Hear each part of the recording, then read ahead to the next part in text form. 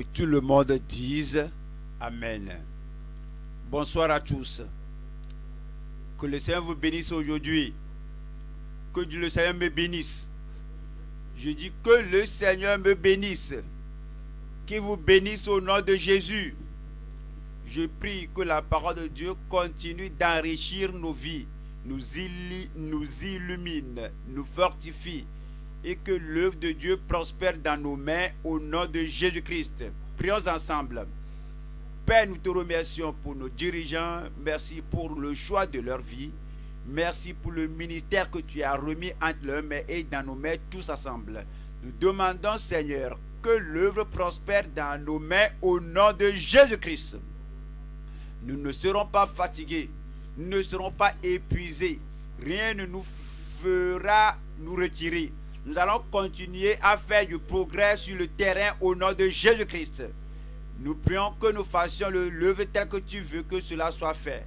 Et que plusieurs âmes viendront dans le royaume et vont demeurer dans le royaume. Au dernier jour, lorsque la trompette sonnera, nous et eux et nous tous, nous nous raconterons au pied du Seigneur. Nous te remercions parce que tu nous as exaucés. Au nom de Jésus, nous prions.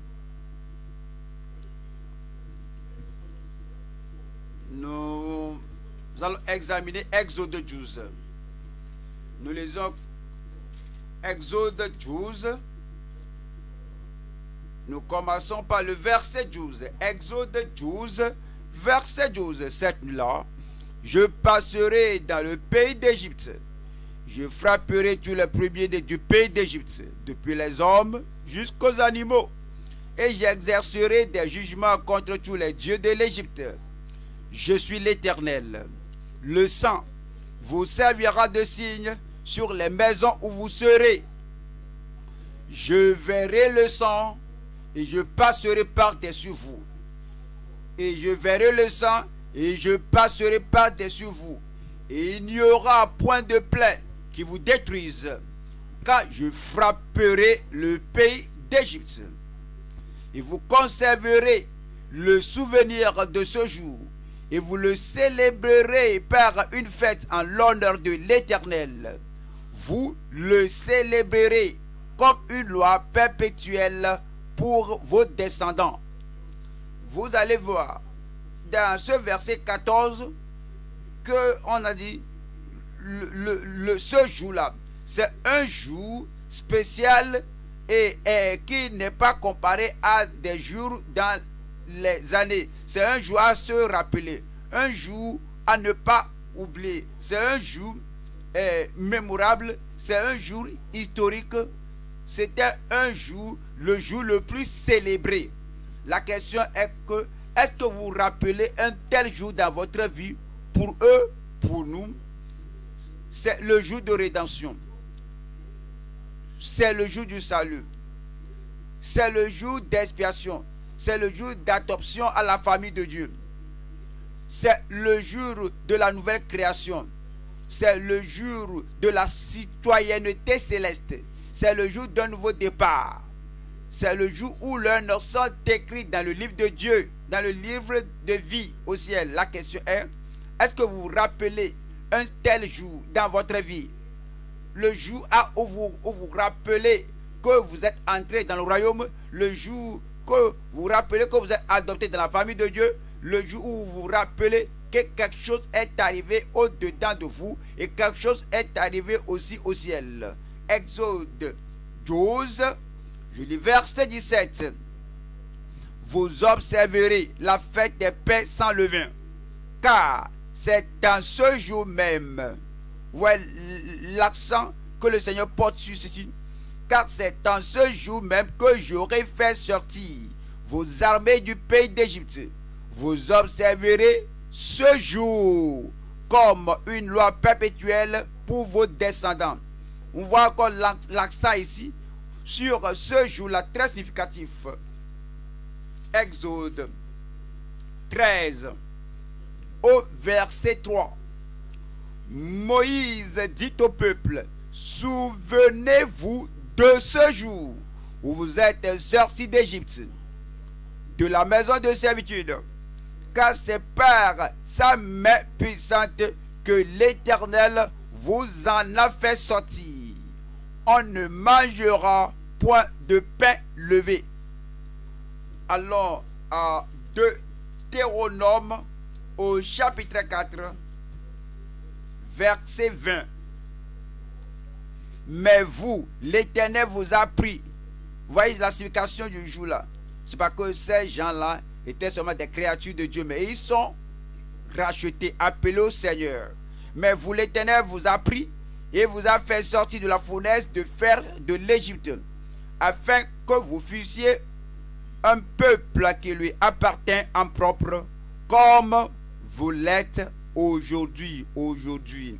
Que cela est arrivé en un jour spécial. Cela est arrivé en un temps. Il vous a ramené à lui-même. Maintenant, il dit que vous êtes ma possession. Deutéronome au chapitre 26, verset 17. Deutéronome 26, 17. Aujourd'hui, tu as fait promettre à l'Éternel qu'il sera ton Dieu, afin que tu marches. Ici, il y a une relation qui est initiée et que nous sommes sortis d'Égypte, nous sommes venus au Seigneur, nous sommes la possession du Seigneur, afin que tu marches dans ses voies, que tu observes ses lois, ses commandements et ses ordonnances, et que tu obéisses à sa voix. 18. Et aujourd'hui, l'Éternel t'a fait promettre que tu seras un peuple qui lui appartiendra. Vous, l'avez choisi, il vous a choisi. Vous avez décidé pour lui, il a décidé pour vous de vous posséder. Et que maintenant vous êtes pour lui, maintenant un peuple qui lui appartiendra, comme il te l'a dit, et que tu observeras tous ses commandements. Et voyons, on va à, Exode 32 et nous lisons verset 32 à 33. Cela vous parle de quelque chose qui était arrivé avant ce temps-ci. Exode au chapitre 32, verset 32. Pardonne maintenant leur péché. Sinon, efface-moi de ton livre que tu as écrit. L'Éternel dit à Moïse, c'est celui qui a péché contre moi que j'effacerai de mon livre. Ce que nous disons, c'est que lorsque Dieu a appelé son peuple, lorsqu'ils sont devenus peuple de Dieu, Dieu a ouvert un registre au ciel où il a écrit son, leur nom. Et que Moïse et tous ces gens-là sont membres de ma famille. Ils ne sont pas comme les Égyptiens je les ai fait sortir et je les ai fait entrer de génération en génération. Ils seront les miens. Et lorsqu'ils auront fini leur ici sur terre, je les amènerai au ciel. C'est pourquoi il a écrit leur nom. Et la question est, est-ce que vous vous rappelez un tel jour dans votre vie où vos péchés ont été expiés, où vous avez été adopté dans la famille de Dieu, vous êtes devenu une nouvelle créature, où l'Esprit de Dieu rend témoignage à votre cœur que vous êtes enfant de Dieu, que votre nom maintenant est écrit dans le livre de vie au ciel. On va à Luc au chapitre 10, 20. Ici, Christ nous a dit la même chose qui leur était arrivé, ce qui, ce qui arrive à ceux qui se détournent de leur péché et qui croient au Seigneur Jésus-Christ. En Luc 10, Verset 20. Cependant, ne vous réjouissez pas de ce que les esprits vous sont soumis, mais réjouissez-vous de ce que réjouissez-vous de ce que réjouissez-vous de ce que vos noms sont écrits dans les cieux. Il y a une réalité très claire que ce sont les disciples de Christ il dit que leurs noms sont écrits au ciel. Même avant que Jésus n'alla à la croix, pourquoi le, nom de ces, de ces Israélites était écrit dans le livre de vie au ciel avant que Christ ne vienne. Ils ont cru à l'agneau de Dieu. Ils ont cru à ce que Dieu a dit que je verrai le sang, je passerai par-dessus vous. Ils ont appliqué le sang. Ils sont demeurés dans leur maison. Ils ont confiance en Dieu. Ce qu'il a dit qu'il va accomplir, et il a écrit leur nom. Ils étaient sauvés. Dieu merci, je suis sauvé. Je dis Dieu merci, je suis sauvé. Et voyons, Luc, Luc 19, verset 9. Jésus lui dit, le salut est entré aujourd'hui dans cette maison, parce que celui-ci est aussi un fils d'Abraham. Deuxième Corinthiens, chapitre 6, verset 2. Car il dit, au temps favorable, je t'ai exaucé. Au jour du salut, je t'ai secouru. Voici maintenant le temps favorable. Voici maintenant le jour du salut. Il doit avoir un tel jour dans votre vie que vous savez que, oui, c'était la ligne de démarcation. C'est le jour de rédemption, le jour de décision, le jour de salut, le jour où vous êtes entré dans le royaume. Et le Seigneur vous a accepté, que vous êtes maintenant son enfant et votre nom est entré, est inscrit dans le livre de vie. La question se présente. Est-ce que vous vous rappelez un tel jour dans votre vie Où Quand? Et quoi? Et comment? Et qui? Et pourquoi? Quoi? Quand? Où? Comment? Qui? Et pourquoi? Où cela a lieu. Est-ce que vous vous rappelez, vous, pouvez vous rappeler, pouvez-vous voir votre position que c'est le lieu où cela a lieu. Chacun des enfants d'Israël, ils se sont rappelés les maisons où ils étaient en Égypte. Ils se sont rappelés la nuit où ils ont appliqué le sang, le sang.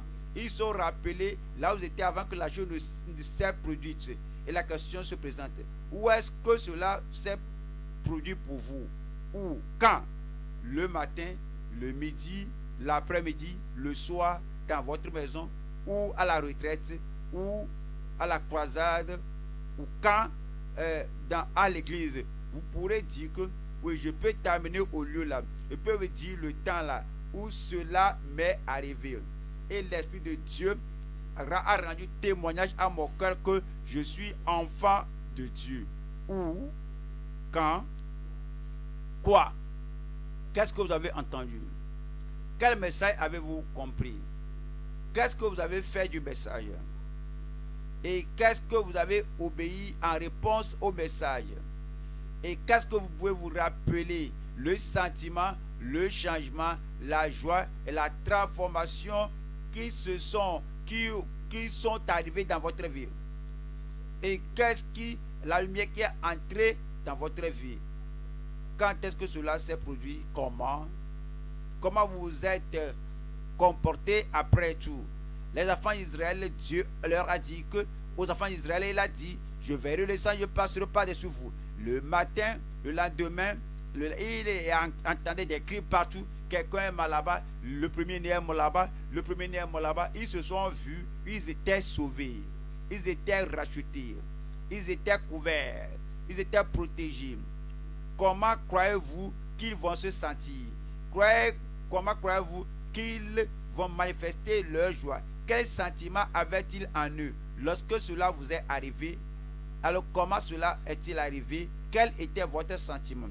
Quelle était votre émotion? Et comme le monde a changé, tout a changé à votre égard. Qui, qui d'autre a reconnu, a su le changement dans votre vie? Tous les Égyptiens viendront.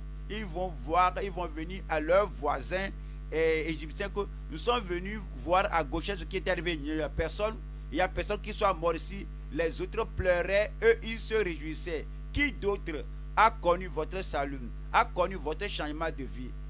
Qui pouvez vous doiter que celui-ci connaît ça? Et il vous regarde que maintenant que tu es mystérieux, c'est comme maintenant, vous êtes comme un ange qui est descendu du ciel. Du ciel. Qu'est-ce qui était arrivé après? Après que ces enfants d'Israël étaient sauvés, ils étaient rachetés, ils étaient libérés, ils ne sont pas demeurés en Égypte dans la même maison, ils savaient que c'est l'heure d'avancer. Alors ce serait inutile. Un jour qu'ils étaient sauvés, ils sont demeurés au même lieu. Il y a des gens qui nous disent qu'ils sont sauvés et demeurent dans la même ancienne religion. Ils disent qu'ils sont sauvés, ils demeurent dans la, même synagogue, ils disent qu'ils sont sauvés, ils demeurent dans le même couvent où ils faisaient des choses. Ils disent qu'ils sont sauvés et ils continuent à se prosterner devant l'image de ceci et cela. Mais ces gens-là, ils étaient sauvés, ils étaient sortis du lieu où ils étaient. Parce que quelque chose était arrivé après qu'on est sauvé, après qu'on est né de nouveau. Ils ont quitté. La question est pourquoi? Pourquoi avait-il pourquoi avait-il quitté tout? Parce que leur salut, leur rédemption, ce n'est pas que je me sens mieux, euh, je loue le Seigneur, je suis heureux ici, je compte. Ils savaient qu'ils il sortaient d'un lieu pour entrer dans un autre lieu. Pourquoi avait-il tout laissé pour aller à la terre promise, à la terre de Canaan? Vous devez penser à cela dans votre ville. Où, le où là, le quand, le pourquoi, le comment et qui, qui d'autre l'a su et pourquoi Vous avez pourquoi vous avez tout quitté pour aller à la terre promise Dieu merci, je vais à la terre promise. Quelqu'un là-bas, je vais à la terre promise. Je prie que vous y soyez au nom de Jésus-Christ. Ce soir, nous voyons ce message. Prendre le peuple de Dieu à la terre promise. Conduire le peuple de Dieu à la terre promise. Exode au chapitre 12, verset 37. Exode 12 au verset 37. Les enfants d'Israël partirent de Ramsès pour Sukkot au nombre d'environ 600 000 hommes de pied, ça les enfants. Une multitude de gens de toute espèce montèrent avec eux. Il faut souligner cela une multitude de gens de toute espèce montèrent avec eux. Ils avaient aussi des troupeaux considérables de brebis et de bœufs. Voyons, verset 40. Le séjour des enfants d'Israël en Égypte fut de 40, de 430 ans. Et au bout de 430 ans, le jour même, toutes les armées, toutes le même jour, le jour même, toutes les armées de l'Éternel sortirent du pays d'Égypte. Toutes les armées de l'Éternel, il n'y a personne qui soit laissé en arrière. Vous ne serez pas laissé en arrière. Toutes les armées de l'Éternel sortirent du pays d'Égypte. C'est une nuit. Cette nuit sera célébrée en l'honneur de l'Éternel parce qu'il les fit sortir du pays d'Égypte cette nuit sera célébrée en l'honneur de l'Éternel par tous les enfants d'Israël et par leurs descendants. Ce soir, comme je l'ai dit, nous parlons de conduire le peuple de Dieu à la terre promise. Mais nous allons voir quelque chose de particulier cette nuit. Verset 38 une multitude de gens de toute espèce montèrent avec eux.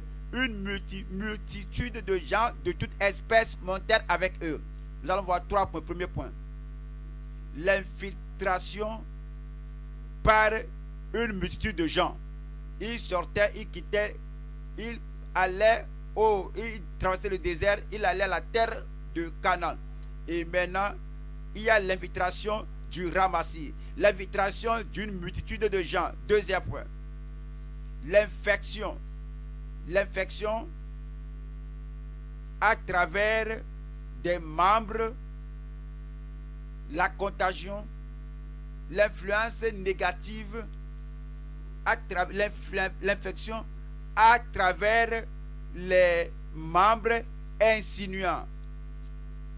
Trois, l'intervention l'intervention des ministres militants.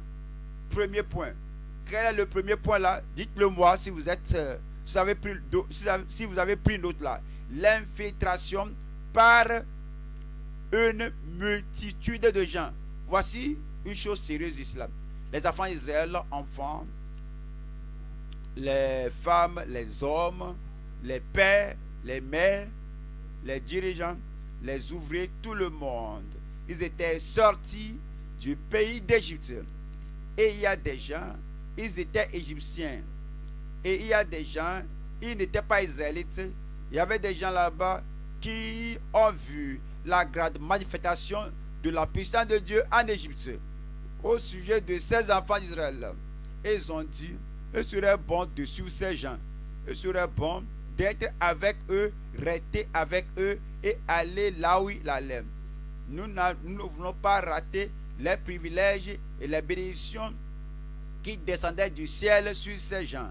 Donc, on nous dit en Exode 12, verset 38, une multitude de gens de toute espèce montèrent avec eux. Ils avaient aussi des troupeaux considérables de brebis et de bœufs.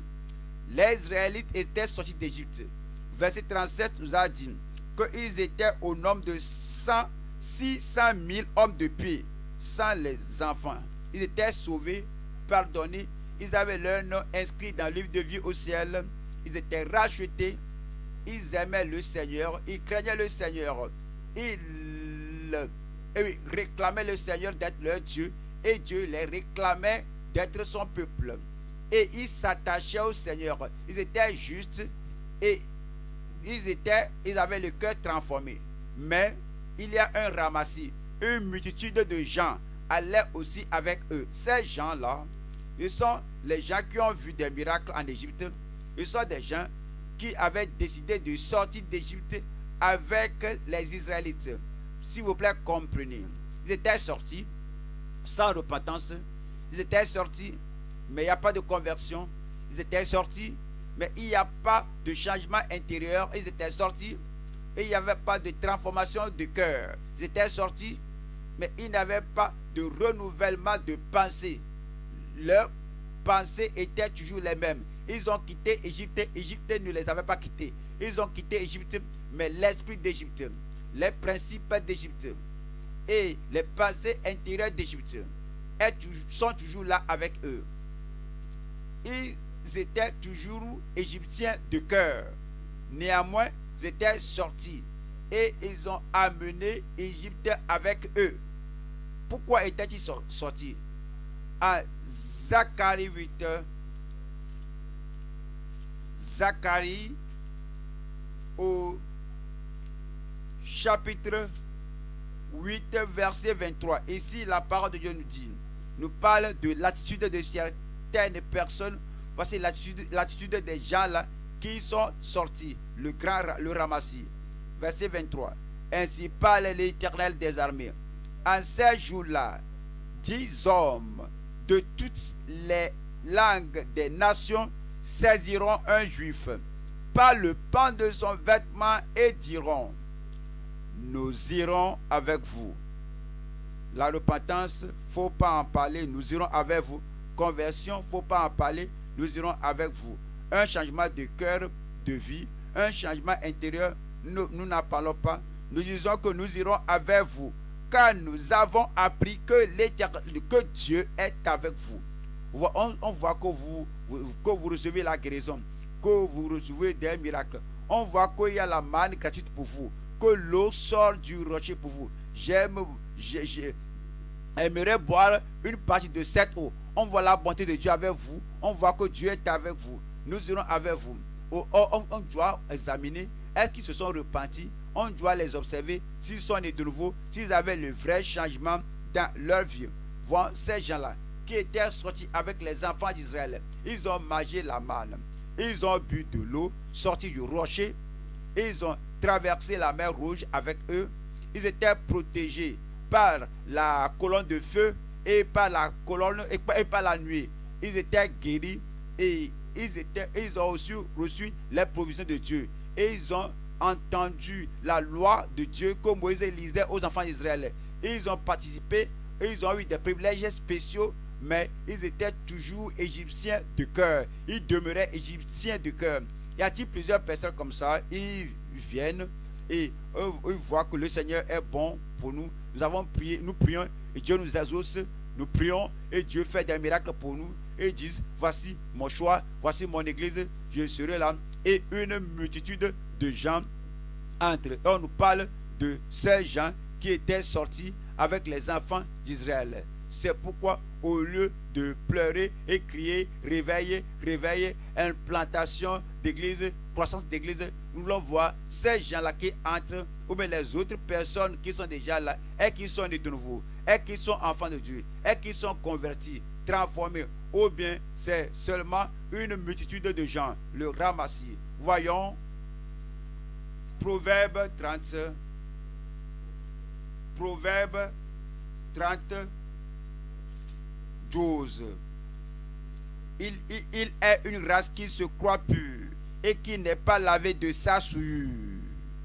Il est qui n'est pas lavé de sa souillure. Regardez la, la, multitude qui se réjouit. Regardez le ramassis. Nous sommes sortis avec vous. Leur nature demeure la même. Leur nom demeure les mêmes. Leur, nature, leur, leur aptitude de vie, leur comportement, leur habitude demeurent les mêmes. Ils ne sont pas lavés de la souillure d'Égypte. Ils ont l'Égypte avec eux. Jérémie chapitre 6. Jérémie 6 au verset 10. En Jérémie 6, verset 10. Voici ce qui est dit ici. À qui m'adresser et qui prendre à témoin pour qu'on écoute? Voici leur oreille est incirconcise. Il voudra toujours écouter l'ancien message. Il voudra encore entendre les anciennes euh, profanations les anciennes profanations, les, les fables d'Égypte, les attitudes d'Égypte, la modernité, d'Égypte, les festes d'Égypte. Ces gens voudraient encore cela. Une multitude de gens, une, une, voici leur oreille est incirconcise et ils sont incapables d'être attentifs. Voici la parole de l'Éternel est pour eux un opprobre et ils n'y trouvent aucun plaisir. Il y a des gens qui oui, j'aime me joindre à l'église. Quand le message est en cours, il n'y a pas de désir d'accepter la parole de Dieu. Et ils n'aiment pas la prière, ils n'aiment pas, ils, pas les doctrines, l'enseignement de la part de Dieu. Mais il aime les miracles. Il aime les miracles. Il aime la percée. Il aime les merveilles surnaturelles. Mais quand il s'agit d'écouter la parole de Dieu, la sanctification sans laquelle personne ne verra le Seigneur, non, je ne viens pas ici pour cela. Parce que c'est dit ici que ils sont incapables d'être attentifs. Verset. Euh, voici ce que dit le Seigneur dit. Verset 16. Ainsi, place par l'Éternel, placez-vous sur les chemins, regardez et demandez quels sont les anciens sentiers. Quelle est la bonne voie, marchez-y. Qu'est-ce qui est là-bas? Et vous trouverez le repos de vos âmes. Mais ils répondent quoi? Nous n'y marcherons pas. Et que nous n'y marcherons pas. On ne vient pas pour ça, on ne vient pas ici pour la doctrine, pour l'enseignement. Nous venons ici pour l'eau, sortie du rocher. On vient pour la guérison, on vient pour la délivrance. C'était un ramassis. Leur cœur ne désire pas les choses de Dieu. Quand le Seigneur dit, placez-vous sur les chemins, regardez, demandez quels sont les anciens sentiers. La voie étroite qui mène au ciel dit, non, non, non, non, non, que nous n'y marcherons pas. On, on va à deuxième, deuxième roi 17, deuxième roi 17, verset 28. Un des prêtres qui, un des prêtres qui avait été emmené captif de Samarie vint s'établir à Bethel et leur enseignant comment ils devaient craindre l'Éternel. Il leur enseigna comment ils devaient craindre l'Éternel. 33. Ainsi ils craignaient l'Éternel et ils servaient en même temps leur Dieu. Et ils craignaient l'Éternel, ils craignaient l'Éternel dans leur tête, doctrinalement. Mais ils ont prêté allégeance à leur Dieu, la soumission, la consécration à leur Dieu, l'engagement à leur Dieu. C'est un ramassis. et, ils servaient en même temps leur Dieu d'après la coutume des nations d'où on les, on les avait transportés. 34. Ils suivent encore aujourd'hui leurs premiers usages. Ils étaient égyptiens de cœur, égyptiens en coutume, égyptiens en tradition, en style de vie. Égyptiens, il n'y a rien à changer. Seulement, ils font partie euh, du peuple de Dieu. Ils étaient sortis. Il n'y a pas de conversion. Il n'y a pas de repentance. Il n'y a pas de transformation. Il n'y a pas une nouvelle création. Et ils euh, suivent encore, euh, ils suivent encore aujourd'hui leurs premiers usages. Ils ne craignent point l'éternel et ils ne se conforment ni à leur loi et à leur ordonnance, ni à la loi et au commandement prescrit par l'Éternel aux enfants de Jacob, qu'il appela du nom d'Israël. Ils étaient au sein d'Israël, mais ils sont différents. Leur langage est différent, leur conversation est différente, les choses qu'ils aimaient totalement différentes, ce qu'ils achetaient au marché, au marché est différent, leur goût différent et leur plaisir différent, leur futur différent, tout est différent de ces gens. Ils sont une multitude de gens. Le Seigneur nous avertit que ce n'est pas seulement une foule. Nous voulons faire sortir des gens d'Égypte et les amener, les traverser et le désir avec eux et les amener à la terre promise. Je prie que vous ferez cela au nom de Jésus-Christ. Verset 40. Et ils n'ont point obéi. Et ils n'ont point obéi ils peuvent venir à l'étude biblique, au réveil, à, être à l'église le dimanche, être à la cellule. Ils écoutent, ça entre dans une oreille, ça sort par l'autre oreille. Cela n'a pas d'effet dans leur vie. Ils sont un, ramassis et ils n'ont point obéi et ils ont suivi leurs premiers usages. Ces nations craignaient l'Éternel et servaient leurs images. Et leurs enfants et les enfants de leurs enfants font jusqu'à ce jour ce que leurs pères ont fait. Vous, vous ne serez pas comme ça. Nous ne serons pas comme ça au nom de Jésus-Christ. Et on va à oser, oser au chapitre 8. Ils sont des gens quand que, qui présentent de négatives attitudes devant la parole de Dieu parce qu'ils sont le ramassé. Vous devez vous examiner. Est-ce que vous avez quitté le Seigneur? Est-ce que vous vous trouvez dans cette condition en Osée, Osée chapitre 8, verset 12. Vous y êtes? Qu'est-ce que c'est là-bas? Osée 8, verset 12. Lisez-moi ça. Que j'écrive pour lui toutes les ordonnances de ma loi. Elles sont regardées comme quelque chose d'étranger. Vous voyez cela? Le ramassis que j'écrive pour lui toutes les ordonnances de ma loi. Le, prophète vient avec une grande révélation, avec une grande déclaration, avec la parole venant du trône de Dieu. Et le prophète est très content que Dieu m'a parlé et je vais parler au peuple. Et s'asseye comme des gens qui vont écouter le prophète et, et il écoute le prédicateur que j'écrive pour lui toutes les ordonnances de ma loi. Elles sont regardées comme quelque chose d'étranger. Ça, c'est étranger. on ne parle pas de miracle aujourd'hui. Repentance, c'est étranger. On ne parle pas de percée aujourd'hui. Ça, c'est étranger. On parle de sainteté aujourd'hui. Ah, on parle du ciel aujourd'hui. Ah, on parle aujourd'hui de se rappeler la femme de l'autre. Ah, c'est quoi ça? Ceci est étranger. Si c'est d'avoir l'eau du rocher, donne-moi une certaine eau à une certaine d'avoir de la manne du ciel à manger, que tout le, que tout le monde prenne son assiette et ramasse euh, de la manne aujourd'hui. Aujourd'hui, nous allons vaincre ces Amalcites-là. Aucun Amalicite ne demeurera devant vous, alors que vous allez les vaincre à, à gauche et à droite. Alors, ils viennent contre vous par une seule, une seule, une voie. Vous allez les vaincre par cette voie. Nous sommes plus que vainqueurs aujourd'hui. Mais quand il s'agit de s'asseoir, il n'y aura pas de levain dans votre maison tous ces jours jusqu'à vos générations. Nettoyez le levain, menez une vie juste, une vie pure, une vie sainte. Nous sommes prêts à entrer dans la terre promise. Ça, c'est étranger. Ceci, c'est dur. Aujourd'hui, c'est difficile. Aujourd'hui, que j'écris pour lui toutes les ordonnances de ma loi. Elles sont regardées comme quelque chose d'étranger. Verset 13. Ils immolent des victimes qu'ils m'offrent et ils en mangent la chair. L'Éternel n'y prend point de plaisir. Maintenant l'Éternel se souvient de leurs iniquités et il punira leurs péchés. Ils retourneront en Égypte. leur pensée en Égypte, alors ils n'aiment rien du vrai royaume de Dieu. Voyons deuxième Timothée, deuxième Timothée, deuxième Timothée, chapitre 3, verset 5.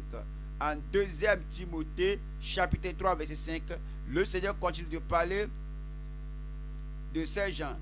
Ouais, ils sont dans le Nouveau Testament, ils ne sont pas encore morts. Ayant l'apparence de la piété, mais reniant ce qui en fait la force. Ils se joignent aux gens, ils viennent à l'église, ils s'associent avec nous, ils s'affilient à l'église et ils s'appellent par le nom de l'église. Mais ils ont l'apparence de la piété, mais ils renient ce qui en fait la force. Éloigne-toi de ces hommes-là. Il en est parmi eux qui s'introduisent dans les, maisons et qui captivent des femmes d'un esprit faible et borné, chargés de péchés agités par des passions de toute espèce. Apprenant toujours, ils sont à l'étude biblique, ils sont apprenant toujours, ils sont, à, ils sont là au culte dominical, ils sont là au réveil, apprenant toujours et ne pouvant jamais arriver à la connaissance de la vérité. La vérité de la repentance n'est pas, n'est pas entrée dans leur cœur. La repentance de la régénération de la sainteté n'a pas d'impact sur leur vie.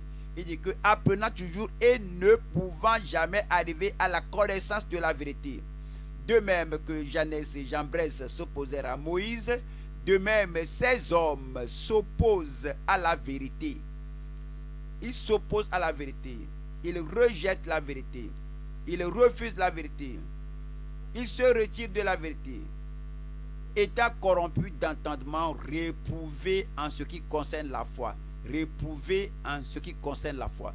Je prie que le Seigneur lui-même, que le Seigneur délivre notre assemblée de la multitude de gens au nom de Jésus-Christ.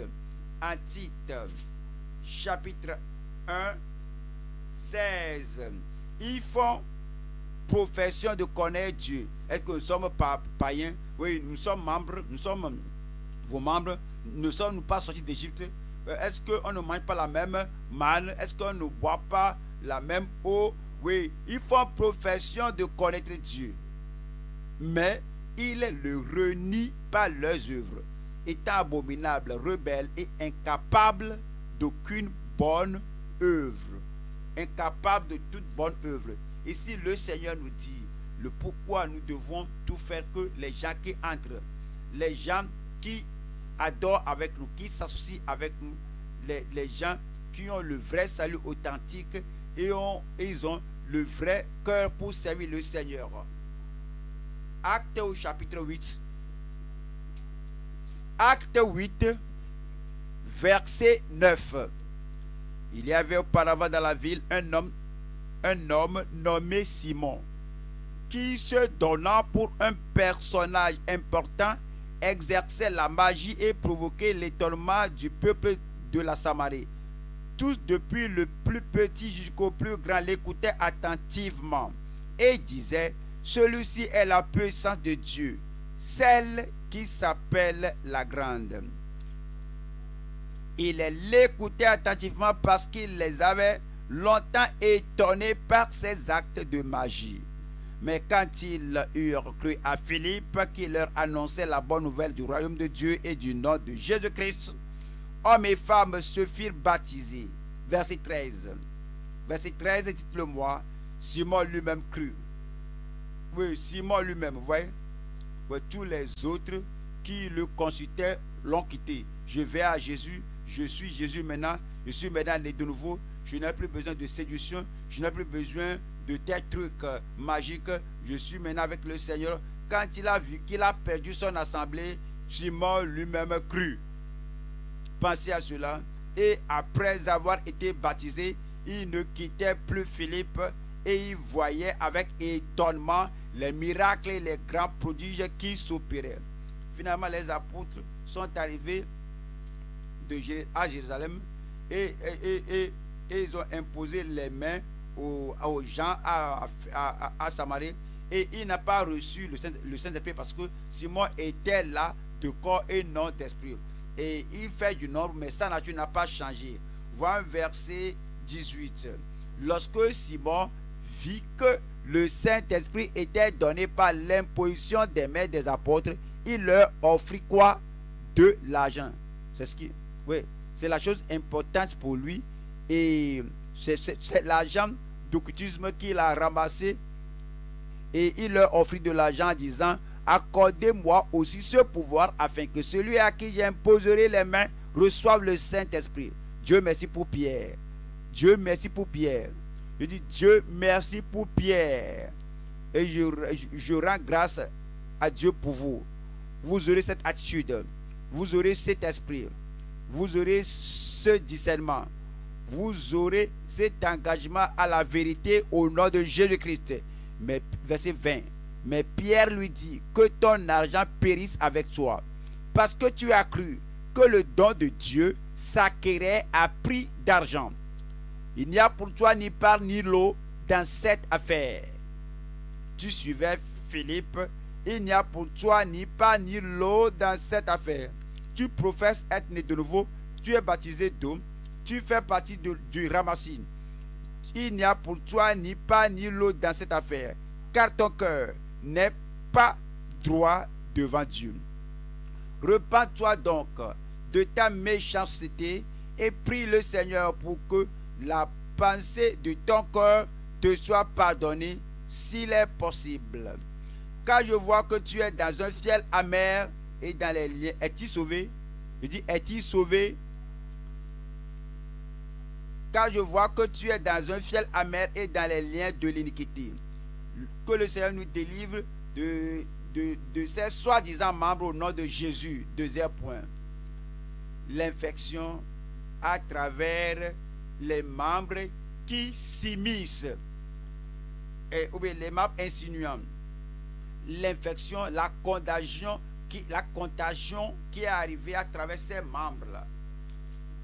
Membre, et nombre 11. Rappelez-vous, le ramassis était sorti d'Égypte avec les enfants d'Israël. Et le problème a commencé avec eux. Nombre au chapitre 11, verset 4. Le ramassis de gens et qui se trouvait au milieu d'Israël fut, fut saisi de convoitise. Et même les enfants d'Israël recommencèrent à pleurer, disaient, qui nous donnera de la viande à manger? Le problème ici, c'est que le, ramassis de gens ici, ce sont des gens qui ont, qui ont causé de grands dommages aux enfants d'Israël et ont fait de, de, dommages aux enfants d'Israël. Oui, la nation juste, euh, pourrait euh, mieux faire sans le ramassis.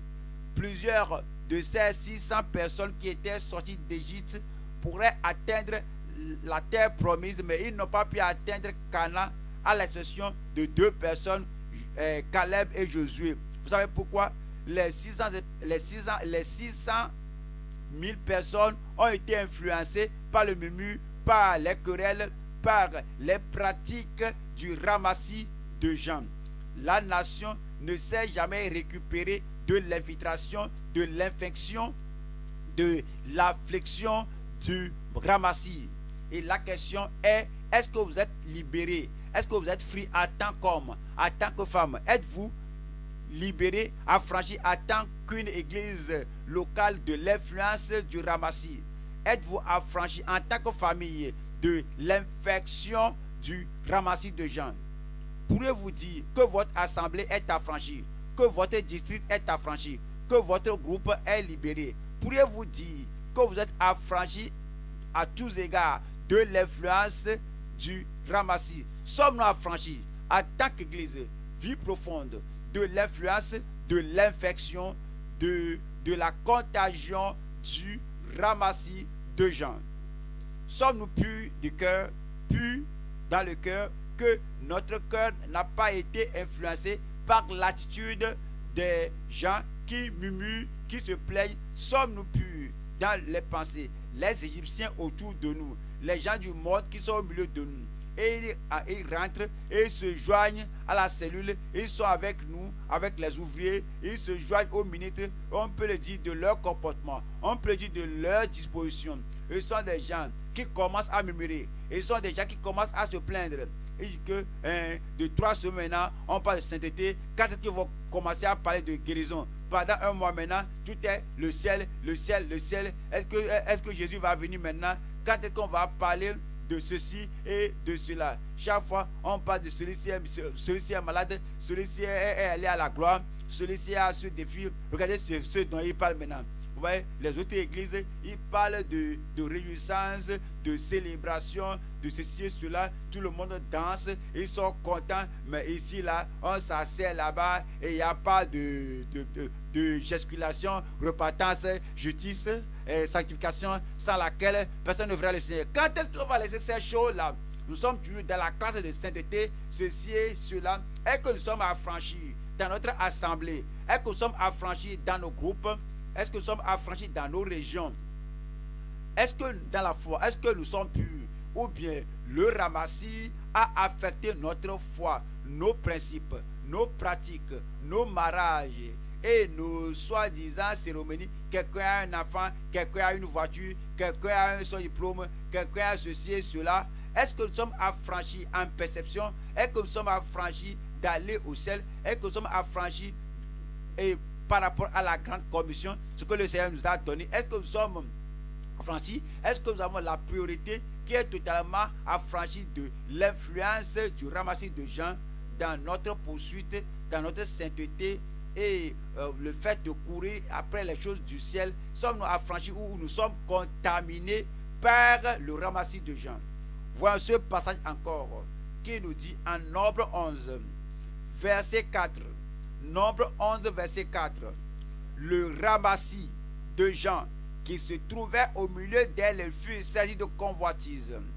Et même les enfants d'Israël, d'Israël, les enfants et même les enfants d'Israël recommencèrent à pleurer, dit Qui nous donnera de la viande à manger? Nous nous souvenons des poissons. Ouais, c'est ce à quoi les enfants d'Israël, c'est ce à quoi euh, le ramassis se rappelait parce que les enfants d'Israël ne se sont pas souvenus de cela parce qu'on les frappait comme le ramassis dit que on se rappelle l'influence des enfants d'Israël dit que oui nous nous aussi que nous nous rappelons euh, nous nous souvenons des poissons que nous mangeons en Égypte et qui ne nous coûtaient rien des concombres des melons des poireaux des oignons et des eaux maintenant notre âme est desséchée plus rien plus rien nos yeux ne voient que de la manne quelle mauvaise influence, quelle influence terrible ces gens ont. Voyons Somme, Somme 106, l'infection à travers les membres qui s'immiscent, les membres qui s'infiltrent. Euh, quand les membres se mélangent avec des gens religieux, pas injustes, des gens qui sont sortis d'Égypte, mais l'Égypte demeure en nous. Somme 106, nous lisons le verset 13. Somme 106, verset 13. Mais ils oublièrent bientôt ses œuvres. Ils n'attendirent pas l'exécution de ses de saints. Le ramassis de Jean et les enfants d'Israël se sont influencés l'un l'autre et se sont pénétrés l'un l'autre. Le, le ramassis sorti d'Égypte a oublié les, euh, euh, euh, le ramassis de gens ont oublié les dix fléaux, les dix plaies en Égypte et les miracles d'Égypte, ils ont tout oublié. Les enfants d'Israël aussi, les enfants aussi ont oublié les œuvres de Dieu. Et, et et verset 13 qui dit, et 14, il fut saisi de convoitise dans le désert et ils tentèrent Dieu dans, dans la solitude. Verset 15, il leur accorda ce qu'ils demandaient puis il envoyait le dépérissement dans leur corps. Oui. oui. Euh, euh, ils, ne sont pas dérangés. L'eau sort du rocher. Ils ne sont pas dérangés. Ils mangent. Le miracle physique, le miracle tangible, ce qu'on touche. Même il y a le dépérissement, dépérissement dans le corps. Il y a la rétrogradation. Cela ne les dérange pas la, sainteté s'est évaporée, ils ne sont pas dérangés. La conversion s'est évaporée, ils ne sont pas dérangés. Tout ce qu'ils veulent, euh, les, les, os, les oignons, euh, ceci et cela, les concombres, quand, si on peut mailler ça, on est satisfait. Je prie que les choses physiques ne vous satisfassent pas au nom de Jésus-Christ.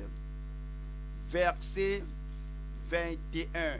Ils oubliaient Dieu, leur sauveur, qui avait fait de grandes choses en Égypte. Voilà verset 24. Ils méprisaient quoi? Le pays des délices. Dites-le moi. Ils méprisaient le pays des délices. Eh, Canaan, eh, le ciel, le ciel, eh, des, rues d'or. C'est ce qu'on attend maintenant. Je dis qu'on a besoin de voitures maintenant. Je dis qu'on a besoin d'argent maintenant. Je dis qu'on a besoin de boulot maintenant. Maintenant, on a besoin de femmes, on a besoin de mari, on a besoin de Satan, on a besoin de d'enfants, on parle du ciel, un ciel, euh, le, paradis, eh bien, tard, on serait là, chaque fois servir le Seigneur, il n'y aura pas de larmes là-bas. Que, voici maintenant les âmes, les, larmes maintenant, il faut faire quelque chose au, sujet des larmes. Ils ont oublié le pourquoi on est sorti, on est sorti du monde et on va à la terre promise. Ils ont oublié cela. Ils méprisèrent le pays des délices. Ils ne crurent pas à la parole de l'Éternel. Dis-moi le verset 25. Lisez-moi le verset 25. Ils murmurèrent dans leur tente. Avez-vous, avez-vous, euh, êtes-vous assis après avoir après, après être à l'église le dimanche et de là vous êtes, vous êtes, assis et au lieu d'écouter le message, celui-ci se bat avec l'autre, c'est de régler les affaires. Celui-ci m'a salué, l'autre ne m'a pas salué, l'autre là m'a choisi, l'autre moi m'a logné. C'est sur quoi on gaspille sa vie. L'évangélisation qui est important, on laisse cela de côté que hein, nous, on n'a pas d'argent pour payer le loyer, on n'a pas d'argent pour donner à l'autre là. Et alors, il n'y a pas d'amour dans l'église maintenant. Et on ne voit pas notre condition des murmures, des plaintes. On est assis comme ça. On a oublié la sanctification. On a oublié la sainteté. On a oublié le corps On a oublié notre intention d'aller au ciel. On a oublié le pays de gloire. On a oublié le pays de délice. Le ramassis nous, a, nous ont influencés. Et ils nous ont influencés parce que les plaintes sont partout, les murs sont partout dans l'église. Il n'obéit point à sa voix. Je prie que les choses changent. verset 29. Ils irritèrent l'Éternel par leurs actions. Même, il y a euh, des choses qu'on n'a jamais entendues dans les années primitives. Maintenant, il y a des choses terribles qu'on n'entend que j'ai conseillé qu'encore aujourd'hui, j'étais surpris de ce que les gens disaient, quelque chose entre celui-ci et l'autre là, les affaires, les transactions entre celui-ci et celui-là, et ce que je n'ai jamais cru que ça peut se passer, même dans une église nominale, on attend ceci et cela, et dit, et verset 34, ils irritèrent, verset 34, ils, ne détruisirent point le peuple que l'Éternel leur avait ordonné de détruire. Verset 39. Ils se souillaient par leurs œuvres. Ils se prostituèrent par leurs actions. Voilà, c'est ce qu'on voit aujourd'hui. Et c'est le ramassis de gens. Je prie que toutes choses changent. Je prie que tout change. Les gens qu'ils devaient détruire, et ils sortaient comme nous sommes maintenant une grande foule. on a 600, 600 hommes, 600 euh, 000 hommes, on a leurs femmes, on a leurs enfants, ils sont des gens de milliers de personnes. Et après cela, le ramassis, et voyant la grande, la grande population, et combien d'entre eux étaient réellement nés de nouveau combien de personnes étaient sanctifiées de la grande population-là? Combien de personnes étaient circoncis de cœur? Combien de personnes ont la focalisation sur le ciel et sur euh, la terre promise que rien ne les détruit? C'est pourquoi on a besoin des ministres qui vont se lever pour le défi que cette assemblée devant eux sera pure, sera sanctifiée, sera une, euh, une assemblée de gens qui ont la pensée d'aller au ciel. Et pour ce ciel, nous irons au nom de Jésus. Ecclésiaste, Ecclésiaste, chapitre 9. Ecclésiaste 9, la dernière partie du verset 18. Mais un seul pécheur détruit beaucoup de biens. Ils sont cela ensemble. Mais un seul pécheur détruit beaucoup de biens. Encore dites cela, mais un seul pécheur détruit beaucoup de biens. Pensez à cela. Si un seul pécheur détruit beaucoup de biens, quel sera le cas du ramassis de gens? Des centaines, des milliers de, gens. Environ 20 000, environ 20% des gens, 40% des gens qui constituent en un ramassis de gens. Si un seul pécheur détruit beaucoup de biens, quelle sera l'influence d'un ramassis de gens sur la nation, que je montre leur impact, la chose destructrice qu'ils ont amené en Josué au chapitre 5, verset 4. Josué 5, verset 4. Voici la raison pour laquelle Josué les circoncis. Tout le peuple, pensez cela, pensez à cela, tout le peuple sorti d'Égypte, les mâles, tous les hommes de guerre, 600 000, étaient morts dans le désert pendant la route après leur sortie d'Égypte. Voyez l'impact, l'effet du ramassis de gens. Tous les 600 000 personnes étaient mortes au désert, seules euh, à l'exception de Caleb et Josué. Verset 6 quand les enfants d'Israël avaient marché 40 ans dans le désert jusqu'à la destruction de toute la nation des jusqu'à la de toute la nation des hommes de guerre qui étaient sortis d'Égypte et qui n'avaient pas écouté la voix de l'Éternel. L'Éternel leur jura de ne pas leur faire voir le pays qu'il avait juré à leur père de nous donner, pays où coule le lait et le miel ils ont péri dans le désert. Vous n'allez pas périr dans le désert. Nos membres ne périront pas dans le désert. Notre assemblée ne périra pas dans le désert. Mais nous devons, nous devons traiter les, les, le ramassis de gens. On pas que les voici les hauts cadres. Euh, est-ce qu'on ne va pas parler de repentance, que ce sont des, sont des, dignitaires. On ne va pas parler de salut. Comment iront-ils au ciel? Euh, Ce sont des grands qui aiment l'Église. il ne faut rien dire pour euh, décroître notre effectif. il ne faut rien dire pour le faire quitter. Comment iront-ils au ciel? Quel est l'objectif? Quel en est le but? Que cherchons-nous? Est-ce qu'on cherche un ramassis de gens qui vont détruire ceux qui sont sanctifiés avant leur arrivée? Est-ce qu'on cherche une multitude de gens qui vont détruire ceux qui sont convertis et ceux qui sont sur la voie étroite qui mène vers l'éternité avant qu'ils ne soient arrivés. Nous devons enseigner toute la parole de Dieu afin que les gens ne périssent pas. Nos gens ne périront pas. Notre assemblée ne périra pas. Et nous devons avoir le courage de, de continuer à souligner la vérité, accentuer la parole, la voix et la, voix du, du Seigneur de la sanctification. Osez, osez 7, osez 7, verset 8. Osez 7, verset 8. Ephraim se mêle avec les peuples. Ephraim est un gâteau qui n'a pas été retourné. Des étrangers consument sa force et il ne s'en doute pas des étrangers à la grâce de Dieu, des étrangers à l'enseignement biblique, des étrangers à la sainteté de la parole de Dieu sont arrivés, le ramassis de gens ont consumé sa force et, ne s'en doute pas. Osée 8, verset 3. Israël a rejeté le bien. Israël a rejeté le bien. Regardez un peu ici.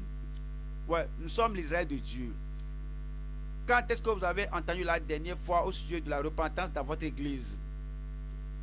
Dans votre, église locale. Quand est-ce que vous avez entendu un message, un message clair de la restitution dans votre église? Israël a rejeté le bien. Israël a rejeté le bien, la bonne chose, ce qui est bon. Quand est-ce que vous avez entendu à la dernière fois que le message de la sainteté, de la sanctification, sans mélange avec euh, la, fête de délivrance, sorcier, ceci et cela, un message clair, direct, la sanctification sans laquelle personne ne verra le Seigneur. Israël a rejeté le bien.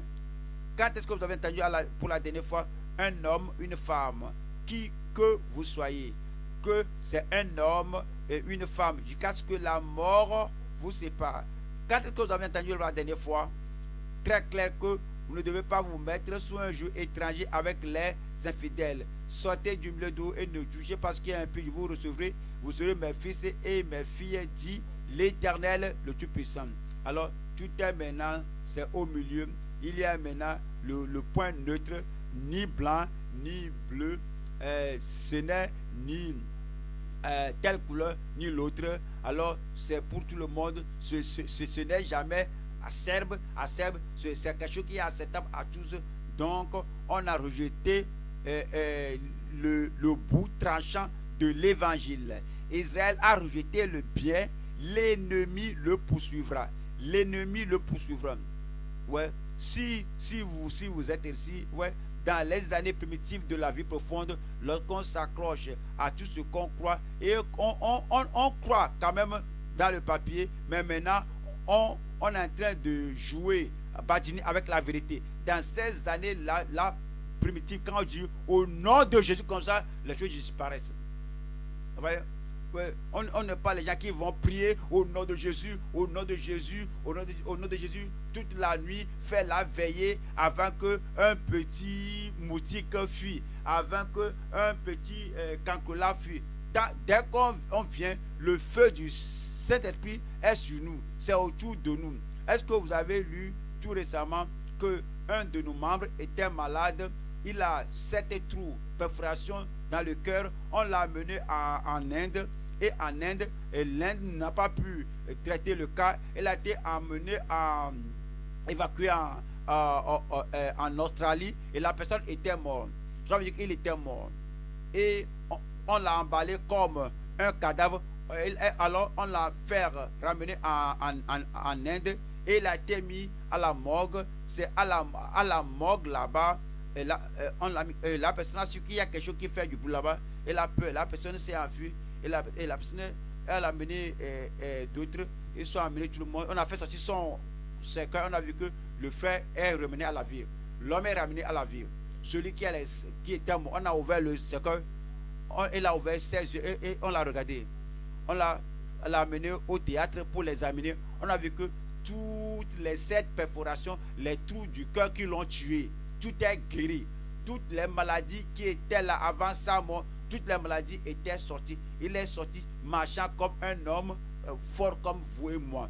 Et le diable passé, et, ils, ont, eu euh, l'action, les actions de grâce euh, dans l'église au, à la vie profonde, dans l'état de d'état. Les gens ont vu que ah, Dieu est toujours vivant. Et c'est que cela se passe.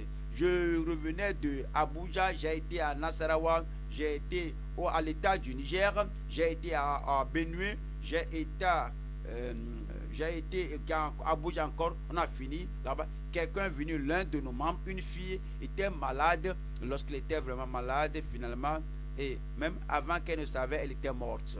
Lorsqu'elle était morte, euh, euh, les élèves, les élèves là, les élèves de du centre hospitalier universitaire là euh, voudrait faire d'elle euh, un, cobaye pour faire, leur expérience. Ils ont coupé euh, son, son navus.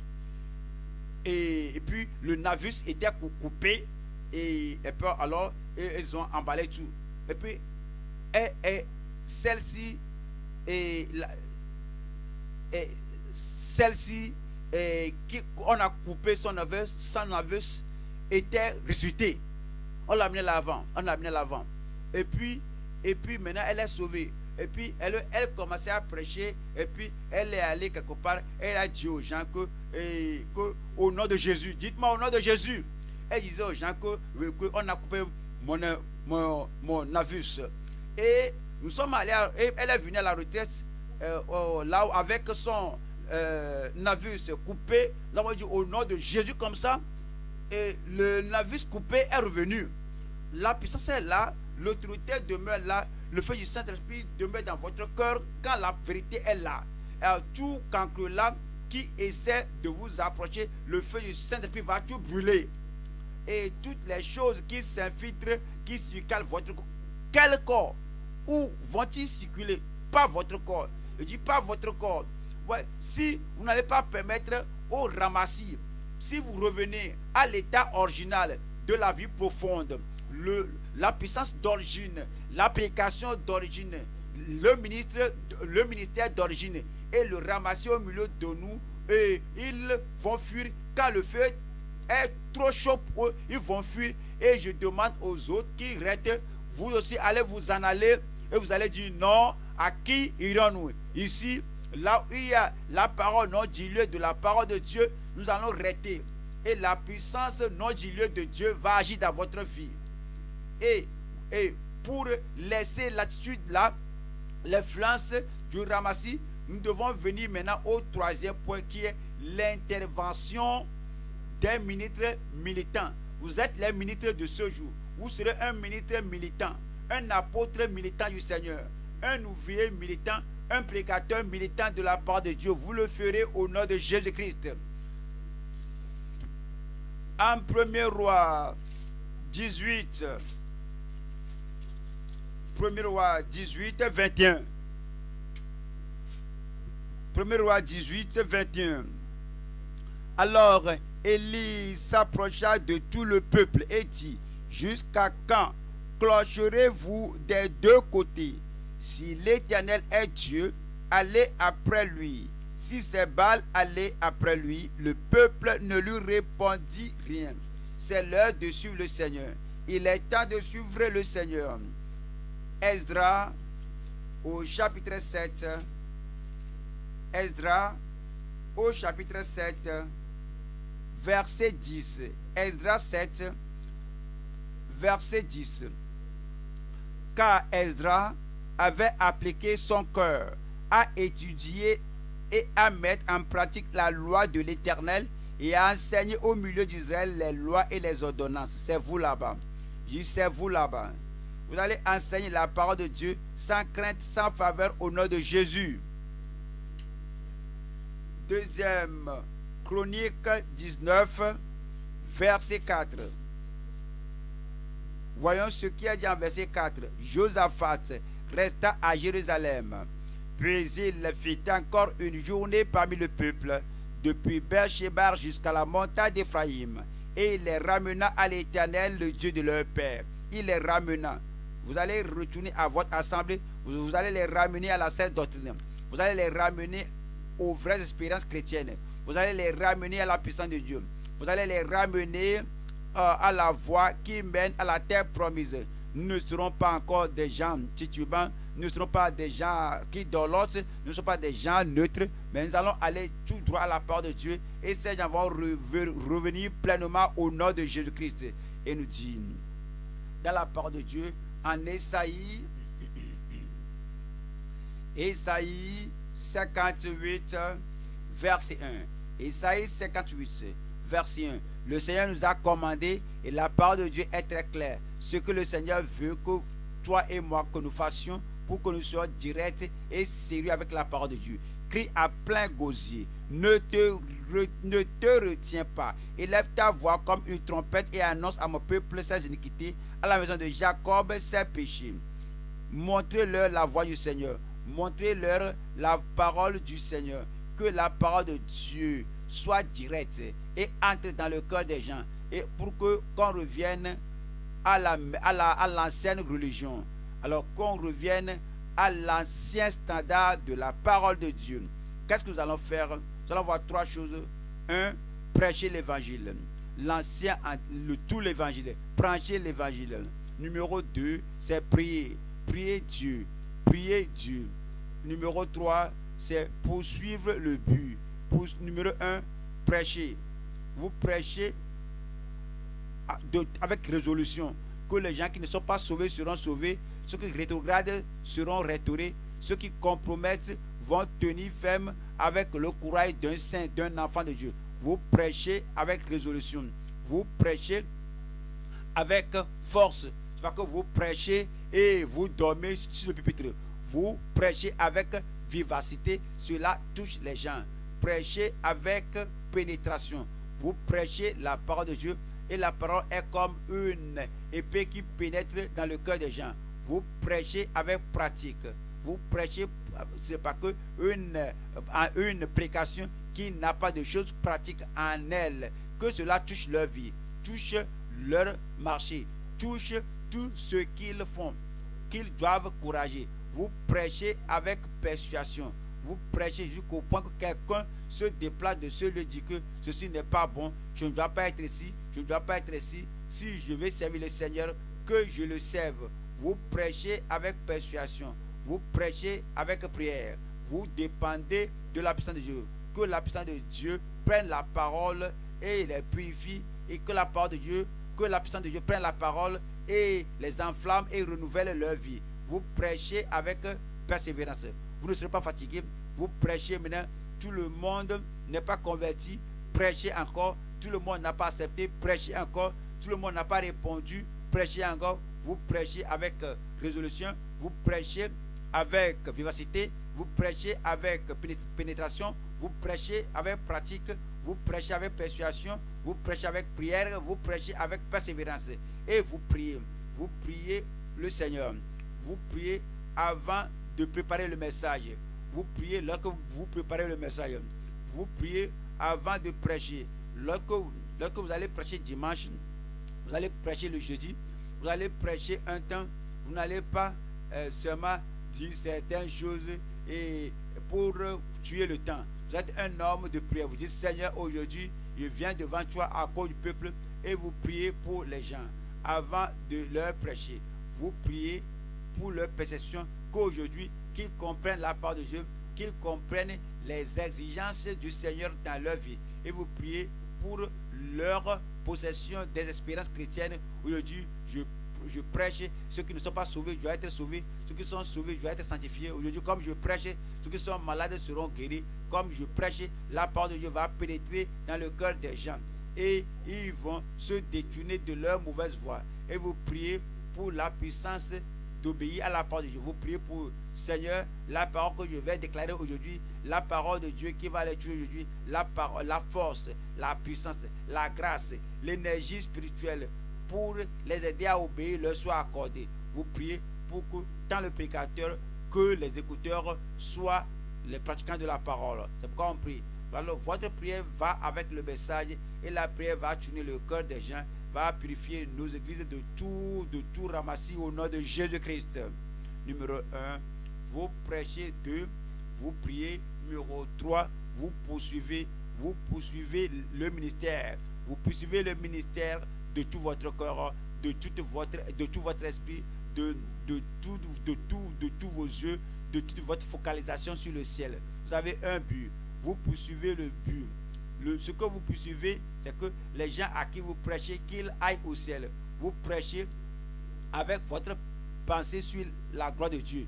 Que ce que je prêche aujourd'hui, je veux que la gloire de Dieu s'en découle. Et vous prêchez avec la focalisation sur le salut des âmes, la repentance des gens, la transformation des gens, la nouvelle création dans les gens. Vous prêchez et votre objectif est que vous poursuivez la même sainteté, la même sainteté. Que ceux qui sont venus au Seigneur, que par ce ministre, par ce ministère, par cette, cette parole de Dieu, que cela leur donne la sainteté. Vous priez et vous poursuivez la satisfaction de Christ. Que Christ soit content. Quand il voit l'effet du message dans le cœur des gens, quand il voit l'effet de mon ministère sur les gens, il y aura satisfaction, il y aura la joie dans le cœur de Christ vous prêchez avec l'objectif de poursuivre, de poursuivre la, préparation de l'Église pour l'enlèvement. Vous prêchez en poursuivant la préparation de, l'église pour l'enlèvement. Et vous devez, vous, devez poursuivre aussi la dernière récompense. Euh, euh, deuxième Timothée 4, verset 1. Deuxième Timothée 4, verset 1.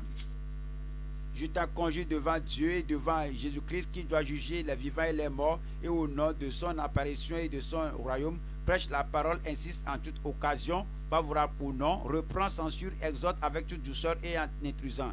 Car il viendra un temps où les hommes ne supporteront pas la sainte doctrine, mais ayant la démagiation d'entendre des choses agréables, ils se donneront une foule de docteurs selon leurs propres désirs, détourneront l'oreille de la vérité et se détourneront vers les fables. Mais toi, sois sobre, vous devez être, être sobre en toutes choses, supporte les souffrances.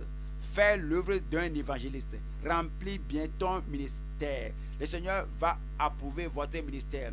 Le Seigneur va utiliser votre ministère pour sauver des âmes et pour, pour faire que les ramassis de gens deviennent une puissante armée des, armée des gens dévoués et fermes dans le Seigneur au nom de Jésus.